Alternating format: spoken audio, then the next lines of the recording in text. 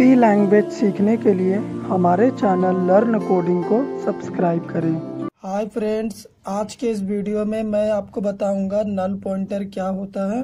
तो ये हमारा पॉइंटर का टाइप टू है। लास्ट लेक्चर में मैंने टाइप वन वॉइड पॉइंटर के बारे में आपसे डिस्कस किया था। तो इस वीडियो में सबसे पहले हम जानेंगे नल पॉइंटर क्या होता है, उसके बाद नल पॉइंटर का सिंटैक्स और एक एग्ज़ाम्पल प्रोग्राम बना के मैं आपको समझाऊँगा। तो चलिए सबसे पहले डेफिनेशन दे देता हूँ नल पॉइंटर का। a pointer variable that is initialized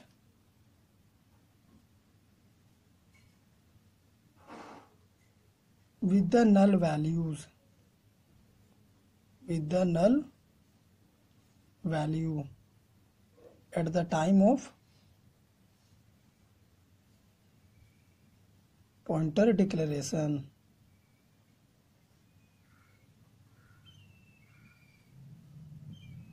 Is called null pointer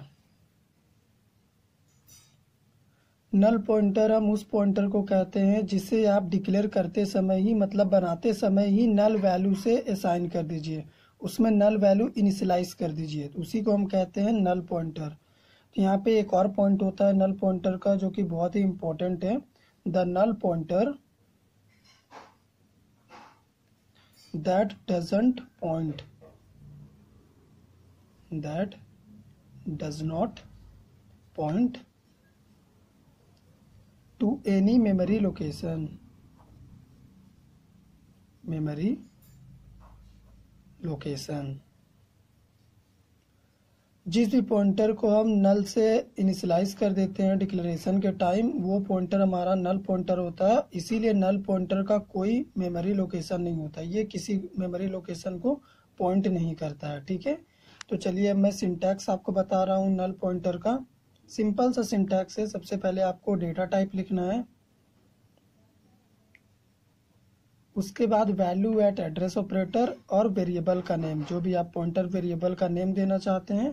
और डिक्लेरेशन के टाइम ही आपको नल वैल्यू इसमें इनिशलाइज करनी है। तो यहाँ पे आप लिख दीजिए इक्वल्स टू के बाद नल तो ये हो गया हमारा नल पॉइंटर का सिंपल सा सिंटैक्स तो ये जो आपको नल दिख रहा है नल एक मैक्रो है, ठीक है? इसे हम मैक्रो कहते हैं, जो कि पहले ही प्री डिफाइंड है studio dot h header file में।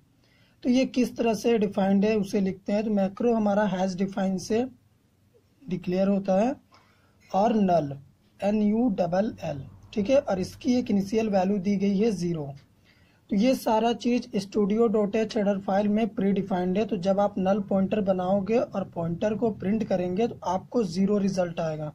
क्योंकि नल का प्री डिफाइंड वैल्यू मैक्रो में ज़ीरो दिया गया है। तो चलिए, अब हम एक सिंपल सा प्रोग्राम बना लेते हैं नल पॉइंटर का। मैं अपने कंप्यूटर स्क्रीन पे आ गया हूँ तो यहाँ पे मैं आपको नल पॉइंटर का एक सिंपल सा प्रोग्राम बना के दिखाऊँगा। तो चलिए सबसे पहले हम नल पॉइंटर बना लेते हैं। तो उसके लिए आप पहले डेटा टाइप लिखिए। तो मैं इंट लिख रहा हूँ और एक पॉइंटर बनाने के लिए हम value at address operator use कर रहे हैं और वेरिएबल का नेम मैं पी दे रहा हूँ। और डिक्लेरेशन के टाइम ही अगर मैं इसमें वैल्यू नल असाइन कर दूँ तो यही हो गया हमारा नल पॉइंटर जैसे ही मैंने इसमें नल वैल्यू असाइन कर दिया, अब ये पॉइंटर किसी मेमोरी लोकेशन को पॉइंट नहीं करेगा, ठीक है?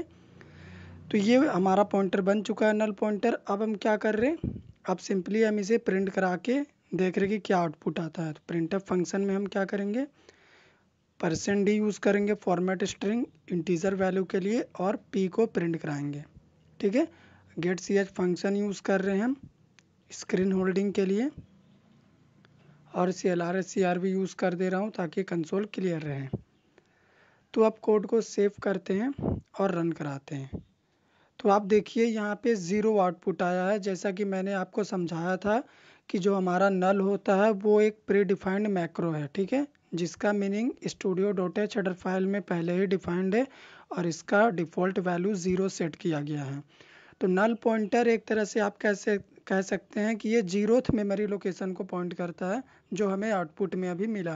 तो ये हमारा सिंपल सा प्रोग्राम था नल पॉइंटर का। अगर आपको वीडियो अच्छा लगा हो तो वीडियो को लाइक कर दीजिए, शेयर कर दीजिए, चैनल पर नए हैं तो सब्सक्राइब कर दीजिए।